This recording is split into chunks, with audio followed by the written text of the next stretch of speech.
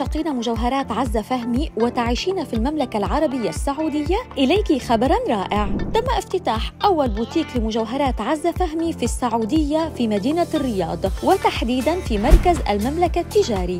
حيث تم الافتتاح بحضور مصممة المجوهرات عزة فهمي وعائلتها. ويعد هذا الإنجاز لحظة مهمة في مسيرة العلامة التجارية وتتويجا لشراكتها الاستراتيجية مع شركة عطار المتحدة والتي تمتد لأكثر من 14 عاما. وبمناسبة هذا الافتتاح أقيم حفل عشاء خاص في منطقة الدرعية والذي حضره مجموعة من الشخصيات البارزة إلى جانب عدد من المشاهير مثل يسرى وهند صبري.